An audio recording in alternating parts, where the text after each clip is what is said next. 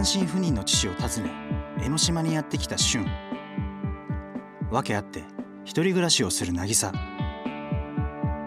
普通の男子高校生2人に芽生えた友情がやがて恋に発展していく。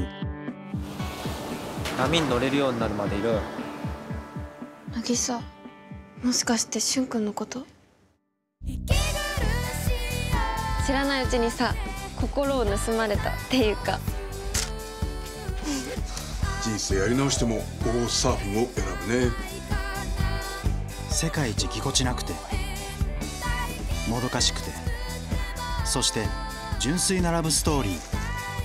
僕初めて人を好きになったのかもヒズ恋するつもりなんてなかった。4月8日スタート